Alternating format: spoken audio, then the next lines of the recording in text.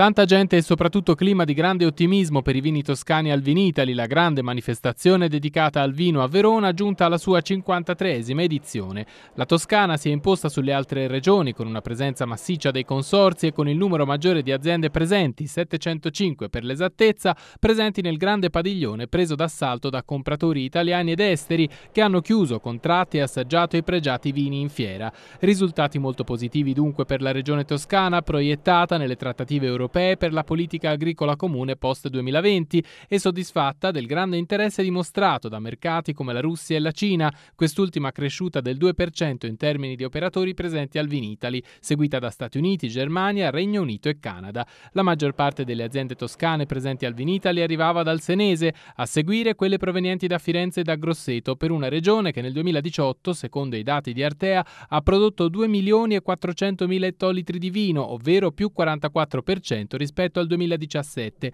fortemente condizionato dal clima avverso. Ora l'obiettivo della regione toscana è proprio avviare politiche capaci di far fronte ai cambiamenti climatici per proteggere il proprio patrimonio vitivinicolo, tutelare l'ambiente e dare impulso a consorzi e aziende.